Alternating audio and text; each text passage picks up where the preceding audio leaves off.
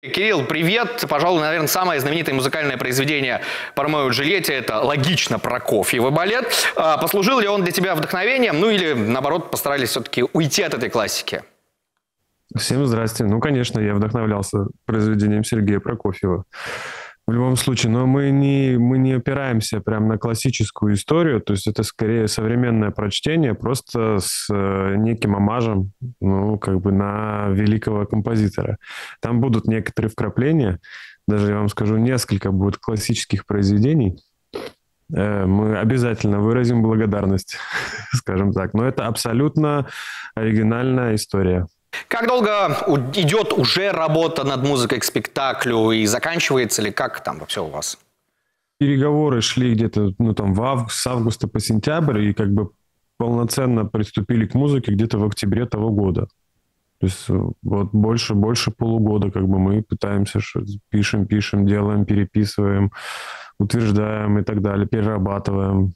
Это очень долгий процесс. А ты пишешь музыку все-таки под хореографию или э, сначала музыка, а потом Дмитрий Ефимов уже ставит что-то свое? Вообще хореографические спектакли, э, как автору музыки, тяжело писать, потому что ты не имеешь представления вообще, что происходит. У тебя есть только, так скажем, техническое задание от руководителя театра, режиссера и режиссера-постановщиков там, хореографии.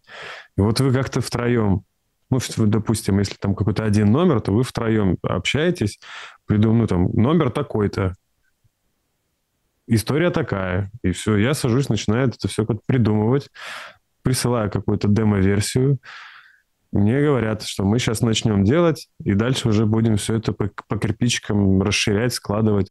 Правильно понимаю, что на репетициях композитор обычно все-таки не присутствует? Видите, как получилось, да. Я всю жизнь жил э, в своем городе, в котором я вырос, это Тюмень, а сейчас я переехал в Москву. Сейчас в данный момент это кабинет Мосфильма, и здесь моя студия.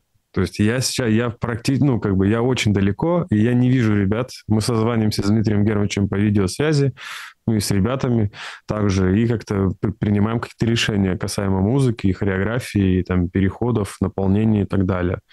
То есть это все дистанционно происходит. Это первый опыт за 8, сколько, 8 лет, да, 8, за 8 лет первый опыт работы на дистанции. Ну, Европу-то я знаю. В принципе, я понимаю их хореографию. В принципе, у меня есть понимание, какую музыку просто уже можно изначально даже как-то ну, набрасывать, то с формейшеном дела чуть-чуть сложнее, потому что, ну, я спортивные бальные танцы не наблюдаю.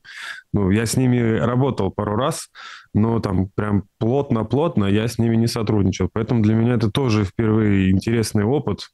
Но мне довелось увидеть там буквально секунд 15 начала номера, где они танцуют всем коллективом. Но это, конечно, очень красиво.